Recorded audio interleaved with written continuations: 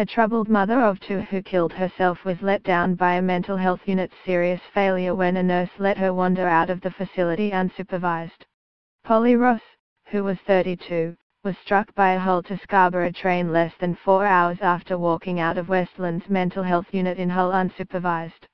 This was despite Ms. Ross, of Driffield, East Yorkshire, having made a number of attempts to kill herself, and who was deemed to be at high risk of suicide after staff discovered a noose in her room.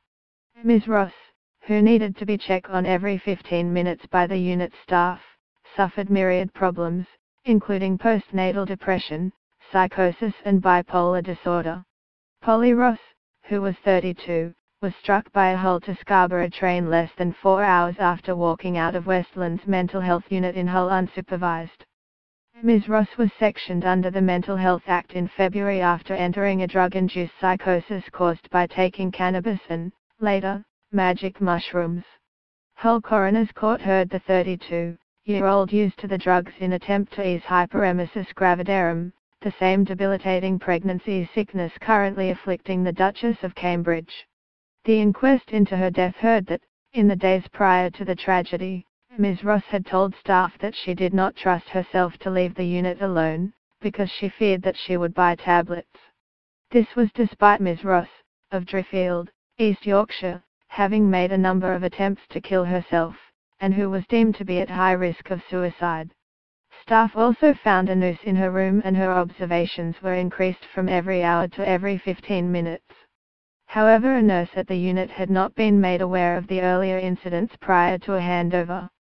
In his narrative conclusion, Senior Coroner Paul Marks noted the decision to allow Polly to leave the unit had a direct causal effect on her death, and stated the clear policy of Humber NHS Foundation Trust at the time had precluded patients on 15-minute observations leaving unaccompanied.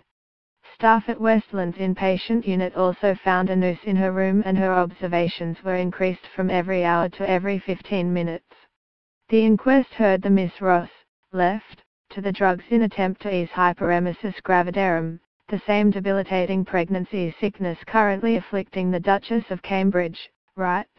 The Duke and Duchess of Cambridge with their daughter, Princess Charlotte, leaving the hospital in London. The Duchess of Cambridge was a sufferer of HG, which she has suffered through all three of her pregnancies. Excessive nausea and vomiting during pregnancy is known as hyperemesis gravidarum, HG, and often needs hospital treatment. Unlike regular morning sickness, HG may not get better by 14 weeks. It may not clear up completely until the baby is born, although some symptoms may improve at around 20 weeks. Some pregnant women be sick many times a day and be unable to keep food or drink down, which can have a negative effect on their daily life. Exactly how many pregnant women get HG is not known as some cases may go unreported, but it's thought to be around 1 in every 100.